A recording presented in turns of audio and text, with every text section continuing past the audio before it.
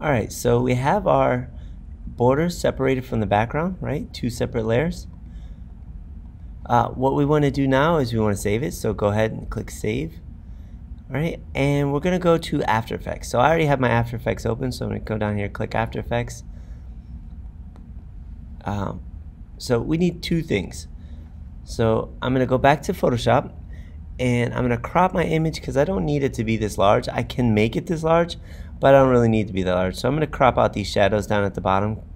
I'll make it a little bit more um, uh, it's still I still have it uh, longer than it is wide but I'm cropping out those shadows and I'm making this a little bit smaller so that when I open it in After Effects it's not such a, a large picture so I'm gonna click check mark and then what I'm gonna do is I'm gonna go to image at the top of my screen and I'm gonna go down to canvas size all right so once you click on canvas size what we're gonna do is we're gonna change our inches to pixels because we're doing it in After Effects, which is for screens. So it's no longer for print. Inches would be for print, pixels are for um, screens. So this says 2624. So I'm just going to copy that, Control C or right click, copy. So I'm going to copy that and then I'm to go to After Effects. I'm to say New Composition. And this is where I'm going to put those numbers. So 2624 right there. And for the height, let me go back to the height. So I'm going to paste it in right here. I want to make sure that it says uh, this is unlocked. Locked aspect ratio is off. I'm going to click on this one. I'm going to go back here, 3169. 3169, so 3169. All right, and I'm going to title my composition. I'm going to title it skate border para, parallax. Right, skateboarder parallax. And 20 seconds, I don't probably need 10, 20 seconds. I'm going to lower that to uh, 10 seconds. And I'm going to click OK. All right, so there's my page. So next thing what I'm to do while I'm in After Effects, so I see my skateboard uh, file over here, parallax composition, that's what I just created. I'm going to go right click and I'm to say import file. So I'm to click import file, or you could go to file and go to import, either one. Um, so what I want to do is I want to find my um, my skateboarder that I just created. Let's go back. Where did I save this? File, save. So import file. Let's see if this one's right now. Oh, but it's not right. Alright, so here's my file. So what I want to do is I want to import it as a composition. The, the interface on a PC looks a little bit different, but you want to make sure it says import as composition. And we're going to click open. We want editable layers. We don't want to merge them all into one layer. So we're going to click open again. Okay. All right, and now I have another file. So I have my original skateboarder composition file and I have two Photoshop files. Those two Photoshop files are what I'm going to be using. So I'm going to drag in the first one, which is the background. I'm going to drag it down to um, my uh, down to the bottom, my layers, and then I'm going to grab my second file, my skateboarder, drag it down to the layers as well.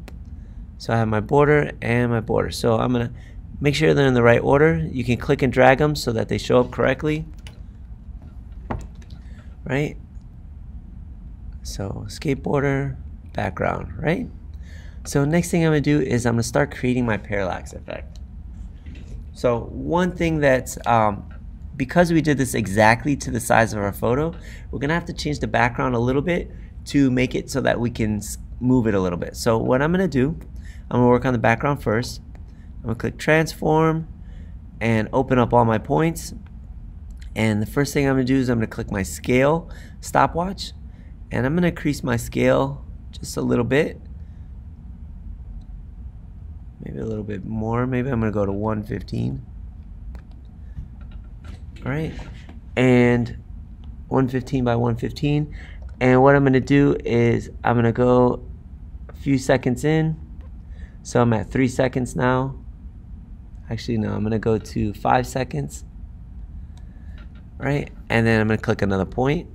And at this point, what I'm going to do is I'm going to reduce it back to 100.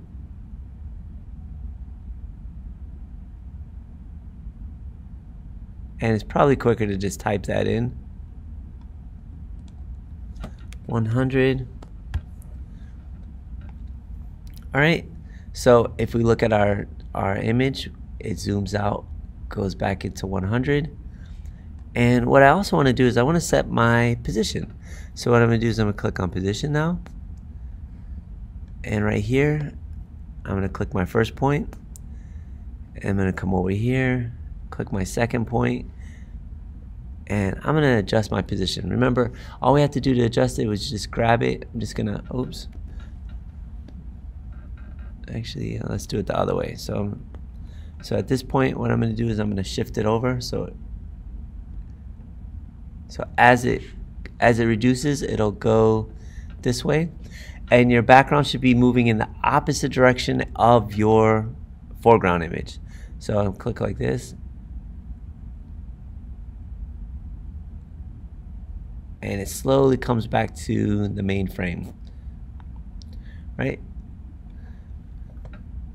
So I got my background done and I'm going to do some other things on this later on.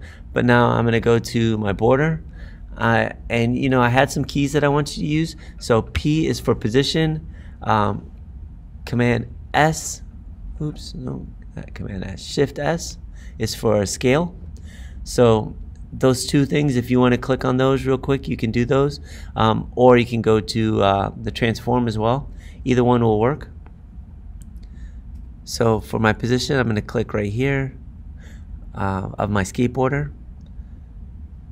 So I'm going to click my first point and I'm going to drag it five seconds, four, five. And I'm going to move my skateboard a little bit. So I'm going to click the next point.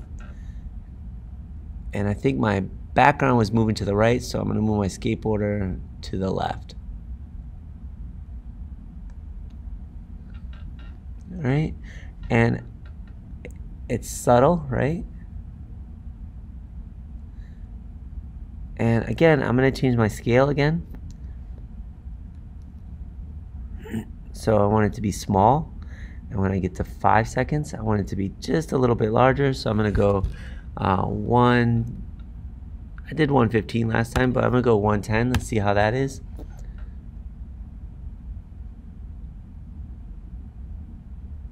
And this might be moving a little bit too much. So I'm going to go back to this point right here, go back to my position. Um, I think I moved it a little bit too far.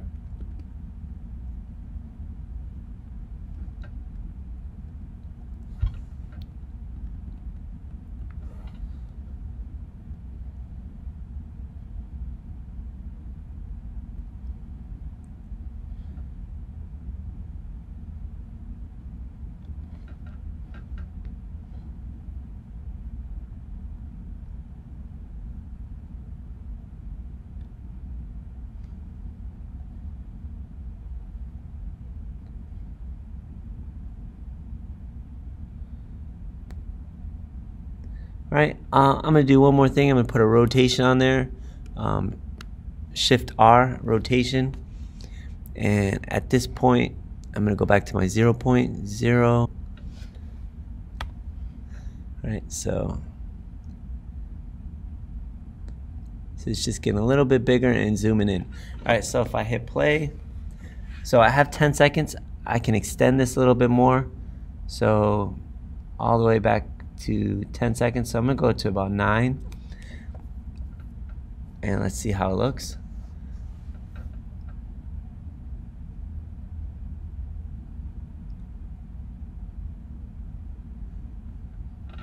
Alright, so the border stops. So what I got to do, the background stops. So what I'm to do is to the background, I'm to open the background back up.